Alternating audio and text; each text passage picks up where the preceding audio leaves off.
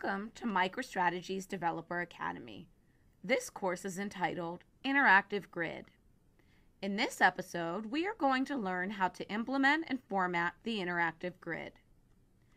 The interactive grid widget allows you to display multiple data in a very compact tabular layout on an iPhone or iPad with MicroStrategy Mobile, while allowing users to switch the objects displayed in the columns to customize the data displayed.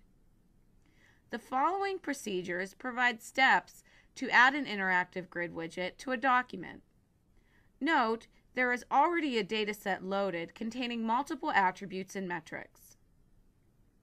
Open the document in Design or Editable mode. From the Insert menu, point to Widgets, then Mobile, and select Interactive Grid. Click the location on your document where you want to place the widget. The grid graph, which appears similar to a standard grid container, is displayed. A small icon at the bottom right corner of the grid graph identifies the type of widget that you have added to the document. If desired, resize the grid graph by clicking and dragging its handles. From the Dataset Objects panel on the left, select Attributes and Metrics and drag them on top of the widget as described below. Place at least one attribute on the grid graph's rows. The elements of this attribute are displayed in the first column of the widget. I am going to start with one attribute to illustrate the benefit of the toggle feature for metrics, then later add more attributes to illustrate options for grouping or selecting attributes. Place at least one metric on the grid graph's columns. The metric values are displayed in additional columns in the widget. I am going to add three metrics and illustrate the toggle feature. To configure the widget, right-click the widget, then select Properties and Formatting. From the options on the left, select Widget. Click the Widget Properties button and you will see the Interactive Grid Properties dialog box opens. To apply banding to the widget, select the Banding checkbox. Banding will create an easier to read format when there are many rows of data. By default, the width of the columns in the widget is automatically determined. To manually specify the width of each column, clear the Automatic Column Sizing checkbox. In the width percentage fields, specify the width of each column as a percentage. The widths for all columns should add up to 100. You can allow users to group the data displayed in the widget by selecting an attribute element. As I mentioned earlier, I have used only one attribute in the initial demonstration. When we add more attributes, the option to group by attribute element creates different types of user experiences. You can try variations of the grouping for elements or add selectors to make viewing data by attribute element a somewhat different experience. Try this for yourself by doing one of the following.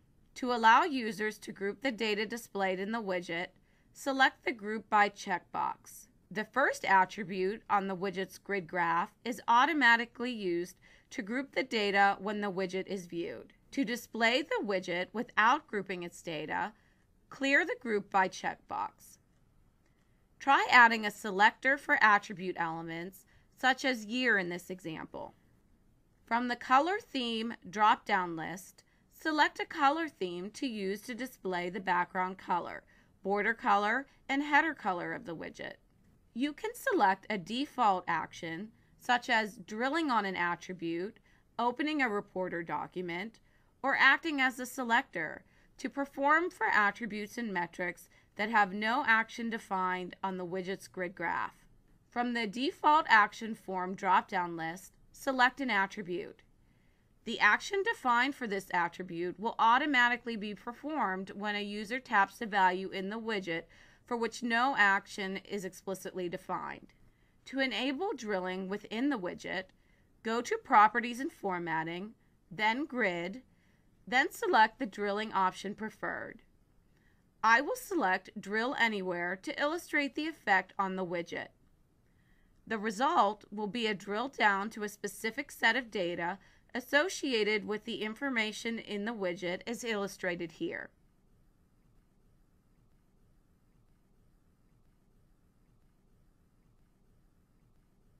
You can modify the formatting of the drill down information in the Properties and Formatting option. The Interactive Grid widget displays default colors based on the scheme selected. You can continue to format the colors of the data displayed in the same way you would with any grid graph. By going to Properties and Formatting, you can select colors for headers, values, and other options. Here, I will change the color of the values of the metrics for illustration purposes. You can create, rearrange, or delete columns in the widget.